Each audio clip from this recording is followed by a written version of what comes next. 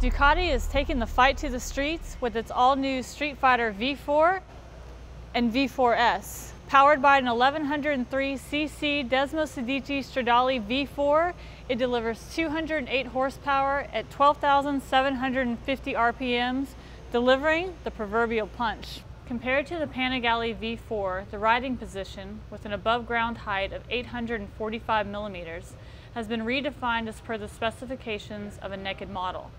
In keeping with Street Fighter culture, the semi-handlebars have been replaced by a high, wide bar that, together with moderated foot peg position, ensures sport-style comfort during inner-city rides and the control needed to tackle country roads or racetracks. The V4S comes equipped with performance-enhancing Öhlins suspension and three-spoke forged aluminum alloy wheels.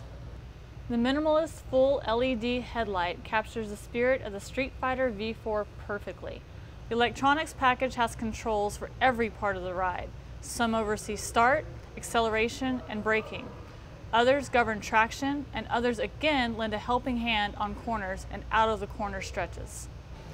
As you can see, the Streetfighter offers not only comfort and style, but also all the power and performance that Ducati is known for. Now, this V4S model has already found its forever home, but this V4 model is still available here at Team Mancuso Power Sports Southwest. That is, unless I can find a way to sneak it out past the sales staff.